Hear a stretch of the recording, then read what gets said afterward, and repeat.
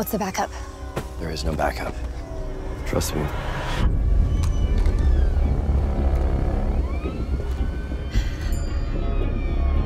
This is it. Come on. Good morning, Michael. So, how are you doing? Good to speak to you. Doing good, Howard. How are you doing? I'm really, really good. Congratulations on the movie. I loved it, loved it to bits. Uh, it's- I mean, Oh, I'm a big fan of. Uh, I mean, I don't want to to pigeonhole you with the with the people you've worked with before, but I'm a big fan of of Justin and Aaron's work before, and this is kind of in the same same kind of realm. So, congratulations! It's just it's right up there with that, those kind of films. Brilliant. I loved it. oh, thank you. Yeah, we're a hive mind, having worked on movies together for 10 years. So, uh, Yes. very much an honor to be in the same company. Thank you. So I mean, talking about, I mean, having you you've worked with them beforehand as an editor because I mean you, you basically cut your teeth as an editor for for many years.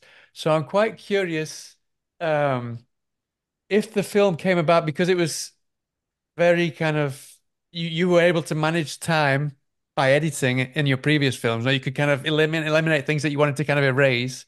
Was that a sort of genesis for this film in a roundabout way? Uh, yeah, in a way, like I think working with Justin Benson and Aaron Moorhead allowed me to have the confidence to know what works and doesn't work in that space. Um, I've kind of lived in the sci-fi space since I was a kid. My whole family works within science-based careers. You know, my my dad's an engineer, my mom's a doctor, and my sister is a doctor in genetics. So I'm the weird black sheep in with the art form uh, Yeah. job. And uh, so I kind of, you know, their love for the movies that I worked on with Justin Benson and Aaron Moorhead gave me confidence to be working within that space. And then the genesis came from just honestly just living in this world of time travel, pitching some stories to my dad. And then once I was able to get that across, uh, Benson and Moorhead were and and Rustic Films with Dave Lawson as well just being a champion for the whole movie and getting us to the level we needed to be and uh, make the movie. So yeah. Uh-huh. Ashley. Yeah, just wanted to stay on the the, the point um, about um, being an editor. Coming into this as your debut feature, you've obviously picked a really complex um, subject in time travel to to to start with. Because of your editing experience, did that give you more confidence that the film that you were gonna, you know, make was gonna be incredibly cohesive? and avoid a lot of the, the you know the plot holes that um, some of these big Hollywood movies tend to fall down in quite frequently. Yeah, I think for me, it's great. Editing has been such a uh, a great tool set to learn from. Not just like it, a one for the uh, the indie side. I've seen so many movies that I've worked on or given notes on where they try to shoot for a studio budget on an indie level and they swing and miss. So I learned how to make a true indie film and what really works, which is just executing really well with the scope and scale and budget you have. But then also with time travel, I see so many things non-linearly anyway. I'm given movies that are hours long in total bits and pieces, and I have to figure out a timeline through them. So, you know, while I'll, I think I, I have this theory where every director that comes to be a director usually leans on the job that they had beforehand as their like pedestal to like really lean on when things get tough. And for me, it was editing. So I was able to like confidently go on to set, know where to put the camera and what will cut together, but also have the confidence to be like, here's this time travel movie that I think is really going to work already because I already edited it a lot in my head of how the story beats are going to go. So I think my skill set and history as an editor really helped me give confidence to just go and do a time travel movie as my first movie, which is genuinely insane. Uh-huh. At the same time, I mean, we were speaking to your you. your two protagonists, and um, I know that Adam was kind of he had a lot of questions for you. I know that Riley kind of she didn't want to know as much. She wanted to kind of keep it more secret, so she kind of dived into it head first. Now, I'm quite curious. Is in spite of you having kind of written the script and devised everything that you were going to direct with this timeline and everything, when it came to to the time to kind of explain this to someone that you that knew nothing about your premise, how did was that was that easy to explain and get it over to you? And did, did you try and keep things to yourself to keep them on the toes, the actors? The actors, yeah, you're exactly right. Where they had read the script, and when they were casted, they had auditioned with the two toughest scenes, which they were the character based scenes. There's two scenes where they're there's one scene where they're drinking and listening to music, and then there's one scene where they're fighting over what ha- what this whole house is about. Um, so they were pretty well versed into the movie, and when they jumped in, I I have my easy pitch, which is just like, hey, here's the easy thing. Here's a brother and sister commit a robbery and they go hide away in a safe house that is actually a hides them away in time. It's very easy pitch and very helps them get their head around it. Um, but then when you know starts to get into the weeds of the plot, who controls the house, what they want them to do, uh, I leave that to as much as they want. Whatever helps them with their process and gets them a headspace, that's as much information as I want to give them. So I remember I was with Adam, and I think we just were on a Zoom call for an hour, and he just went through the entire thing, and he's like, "I want to know it all," because for him, that allowed him to know where he could set his boundaries and not trip over something unknown and be lost by surprise on set. Whereas Riley, Riley is like really wanted to be in the headspace of where Sydney was, which is I am following the lead of this of my brother who has this book that has instructions. I'm going to trust him one more time, but it's going to be I need to feel the fear. I need to feel the confusion and I and if I know anything, it might tell in my face or something like that. So, uh, I feel like it's just whatever's best for everyone's processes for sure. Um, was there a specific um reason as to why you chose um, a, a, pair of siblings as your main protagonists. Um, because obviously there's the personal side of things in terms of you having that initial discussion with your father after after seeing a movie about this seed of an idea. Um, and um, I think uh, I saw you sort of moving your arm about. You've got the tattoo on your wrist. Did I did I see that? So, so this the, the I got sibling sport. So this I got after the movie came out, just as like, hey, we did it. The movie was oh, celebration, afterwards. but okay. this, but this is the tattoo that inspired the actual tattoo in the movie. Right. Um, this Triforce tattoo that's on my arm. Uh, yeah, a lot of this is based off. A, I'm just glad that there's more brother and sister stories being told in movies. It's a unexplored dynamic that I feel like is ripe for um, uh, a digging. And for me, as a brother to a sister and sister brother, um, I just wanted to explore some of the dynamics between my own sister, who are very close, but we're sadly just not seeing each other as much as we should, just because we live different lives. She has kids. I work in the film industry across the country. And so I just wanted to explore this like, hey, we were close, but now we're not as close. How do you wrestle with that? How do you wrestle with that dynamic? And I explored it through this relationship between Joseph and Sydney.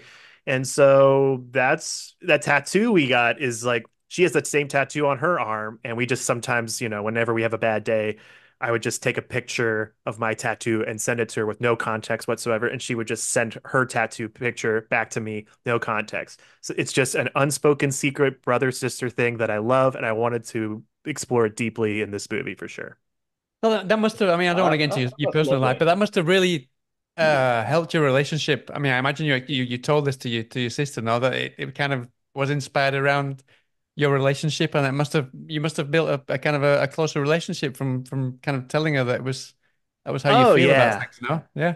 Oh yeah. We we we we love each other and it's just it's literally one of those things where you go like hey let's go hop on a zoom and let's catch up. And then uh you forget to set a time and then blink a year goes by and you're just like oh my god wait, did we ever do that Zoom call? Did we just text each other? Or when was the last time we called each other? Time just slips so easily. Um, so th- luckily, she's seen the movie. She saw it during cuts process and gave her notes, and then she saw it when she, we had it at the Chattanooga Film Festival here in Tennessee. In Tennessee, um, and uh, yeah, it's been a good excuse to just keep it, it, got the text chains back up it got the calls back up it got zoom conversations going again. So if anything it's really nice to just have this movie as like hey reminder wake up call call your your your sibling bro yeah. Actually and the the um film itself is really thought provoking because it poses like the like rather like big question that it poses is how do we as humans kind of um, you think audiences or what you hope audiences will will take away um, with with that notion in mind. And also, I understand you had your premiere at the SXSW uh, festival. What was that like as well? You know, seeing it with an audience and maybe you know speaking to some. It was fun at at South by to go like, hey, here's a bunch of people coming up to me, and you know, it, people just start pitching you theories about what happens, which is really the the whole point of this movie is to just inspire conversation like my family had after sci-fi movies. But I think my goal is to you could either be in one and two camps. You can either be like diving deep into the theories, going through the bottomless well of hints and and red herrings or theories that connect to each other, just like Sidney's character in the movie, or you could curse the gods and get mad at the guy who made the movie and go, I don't understand it. It is you trapped me and I feel frustrated. Like Joseph's character in the movie. so uh, it's designed for people to wrestle with. And I think somebody who wrestles with movies, I wrestle with movies all the time. I feel like those are the ones I cherish the most the older I get. I get less into movies that give me a nice bow and let me leave the theater. Like there's a time and place for those movies, but I just think about those movies inherently less. I grow up more and more wanting a movie that challenges me and wrestles me. And I hope this is a movie that challenges a lot of audiences. Definitely, and I'm, and I'm sure at the same yeah, time. sorry, yeah. actually. Yeah, no, I was I was going to say, yeah, it definitely does. And the mark I've always said that the mark of a great movie for me is one that kind of stays with you long afterwards. And I, I watched the, the movie at the weekend, and it's like been the first thing I've been thinking of in the mornings when I wake up. You know, with my morning tea, I'm I'm still processing it. So mission accomplished. Exactly, oh, good. Yeah. Thank you so much.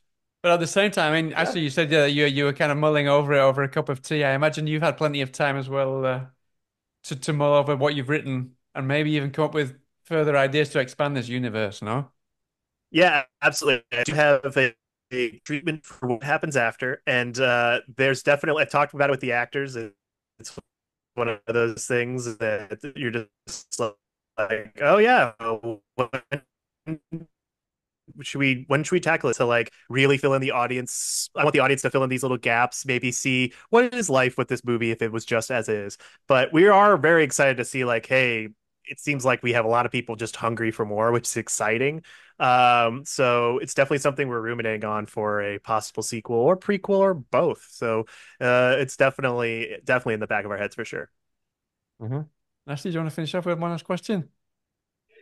Uh, yeah, yeah, sure. Um, just a, a little more light-hearted uh, final question, really. Um, without giving anything away, we've got what I refer to as the magic cupboards um, in the movie that are magically replenished with all sorts of, of goodies, including copious amounts of booze. Um, if you were in that, that situation, what sort of essential items would we be finding popping up in your, your refrigerator or your drink cabinet? Oh my god, that's such a good question. Um, I am a fiend for just chips and salsa. It's my favorite snack, and I'll just have it. I order it like in mass and then devour like a Costco size in a week. So if I were just to have that be in my cupboard all the time, my gosh, me my wife will just devour it. It would be the best. it's a plain answer, but that's what I always crave for it, I guess, all the time. That's a just perfect to, answer. That's exactly. Just, but just to add to that, though, uh, was I know you. I mean, you don't read a, a, whole great deal of books, but I know that your parents send you a lot of books. So I'm quite curious, what book would you take with you to the house as well? I know you had the mm-hmm. employees mm-hmm. was one book that was on your to be read list in the press in the press kit. Yeah, I yeah we just just finished that. It's so awesome. Um, I guess whatever if if we had a book that was put into a cupboard and put in, I would just whatever my dad. If my dad was at the other end filling that the, the cabinet with books, he would just I just want him to give me the next Hugo winner that he loved. He's going through all the Hugo winners right now right. for science fiction. So he just sends he actually just mails me books. He mailed me the employees. He said, read this and read this with Jory, uh, my wife. Um, I will just have that replenished. So right now it'll be any book that he recommends, to be honest. Brilliant, brilliant. Well, listen, thank you so much for your time. It's a fantastic movie. I can't wait oh, for people you. to see it. I can't wait to see it again as well because it's one of those movies that you just need to see again and again and again. And I hope to speak to you again Seconded. sometime soon about another movie or a sequel, prequel, or whatever comes next. Awesome. Thank you guys so much. Yes, I'm Oh, happy you, to talk to you. This was awesome. I'm glad you guys enjoyed the movie. Thank you for your time. That's great. Take care of yourself. Uh, All That- right, have a good yours, day. Michael. Cheers then. Pleasure talking to you. Cool. Take care, Goodbye. guys. Cheers. Take Bye. care. Bye. Read out on the count of five. Five. Four.